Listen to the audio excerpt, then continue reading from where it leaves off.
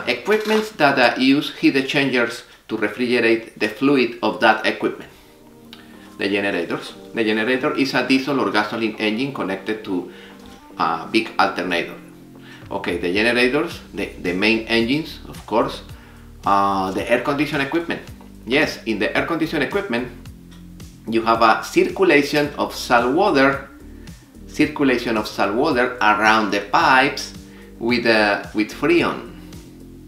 We are going to study uh, later uh, in the book of uh, air condition that system. Yes, the, the air condition equipments, the marine air condition equipments, they have a heat exchanger to decrease the temperature of the refrigerant in the system. Salt water, circulation of salt water. Yes, in the air condition equipment we have exactly the same. We have a, a seacock, we have a strainer, we have raw water pump. We have, ah, for that reason, the life of those equipment depend how is corro corroded the equipment. This is the boat, this is the hull of the boat, this is the hull of the boat.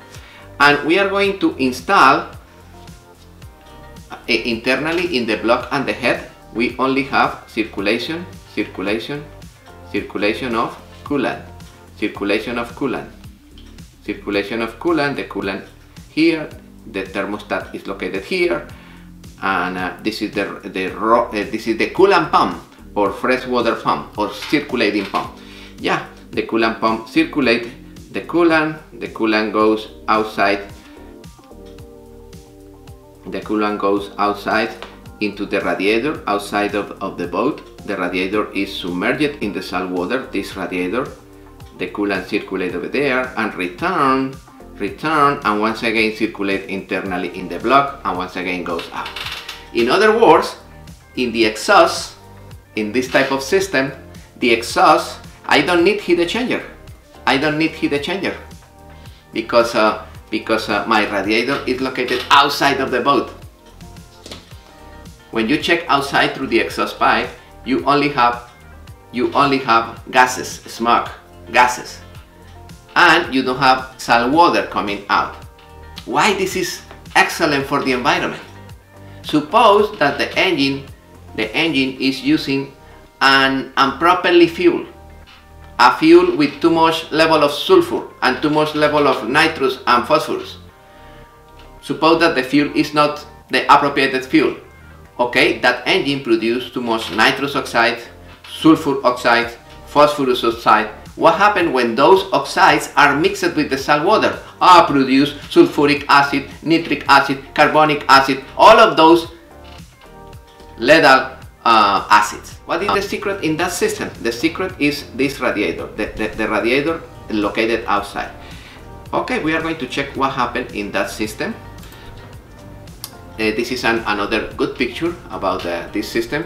This closed circuit cooling system eliminate the need for inboard heat exchanger, of course, and no, no raw water pumps and no strainers. And uh, also the maintenance is too simple. And uh, internally if you check the engine room the engine room is clean no corrosion. The, uh, this is a, this is the in my opinion uh, the most important part of this system. This radiator is located outside. This radiator is located outside in contact with the with the salt water. Okay and uh, you don't need raw water pump because you don't you you don't need circulate raw water pump internally but uh, you need the coolant pump the, the freshwater pump. You need this, this pump, no? The, the, the, the coolant pump. The coolant pump circulate the coolant internally in the block and send the coolant outside to the radiator. And this is uh, this is uh, a better a better picture about the uh, the, the keel cooling system. If you see uh, the piece of zinc at the end, this piece of zinc uh, is used to protect this copper alloy. Right now we are going to talk about this copper alloy and special alloy wonderful. It's an alloy that is practically zero corrosion, zero corrosion. And, uh, and uh, look, this is the, the, the, the true hole that uh, we are going to do in the hole in order to install uh, this element. In this system, I only have circulation of coolant. The coolant start in this point, and tan, the coolant continue over there, the coolant goes outside, circulate through the radiator, this is the coolant, this is the coolant, and the coolant return over there, return over there and enter here the thermostat housing and once again continue, continue, continue, continue and return over there. This is basically the path of the coolant. Okay, I don't have I don't have a circulation of salt water. Excellent. And uh, look at this. This is the expansion tank, the metallic expansion tank, and the expansion tank, you remember, is connected with the with the coolant reservoir. Okay, I open the radiator cap, the radiator cap here in the expansion tank or here, and I found it that uh, the color of the coolant is brown. This is because uh, the coolant is mixed with salt water. In this system, it's very common added a couple of filters. A couple of filters. Uh, those filters are very important because those filters are water separators. Remember that the, the density of, um, of uh, the coolant is higher than the density of, uh, of the water. Uh, if you have a, a coolant mixed with water, uh, the water goes in the bottom and the coolant on top and uh, it's easy identify if you have those water separators if you have a, a concentration of water and immediately you need to stop the engine and uh, check the radiator externally probably remove the radiator send to the machine shop and after that putting back the radiator. And yeah the, the, the, the, strainers are very very important in order to verify the migration of salt water into the coolant. And, uh, and you have another another uh, filter here. This is for bypass uh, this is when, when, when we need isolate the system and, uh, and, uh, and do the service uh, on, the, on the external radiator, on the heat exchanger.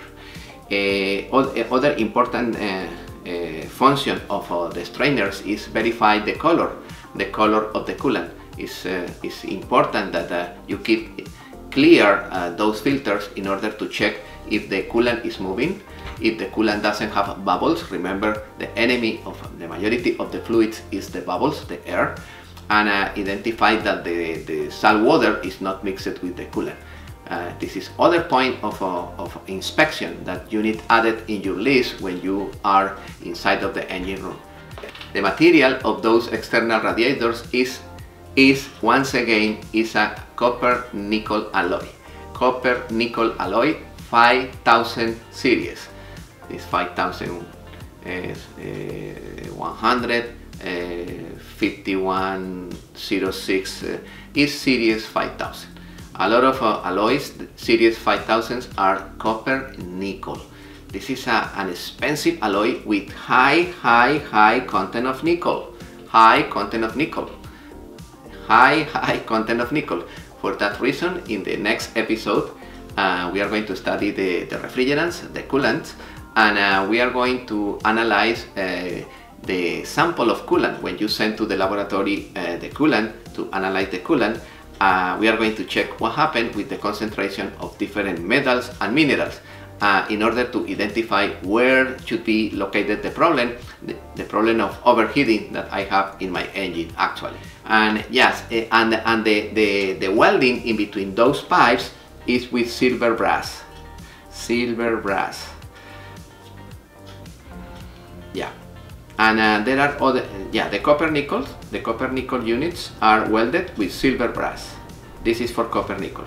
And uh, there are all uh, external radiator like this in aluminum in a special alloy of aluminum.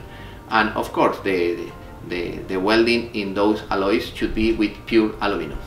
Yes there are uh, external radiators for keel cooling system in aluminum and external radiator for keel cooling system fabricated in copper nickel alloys. Okay?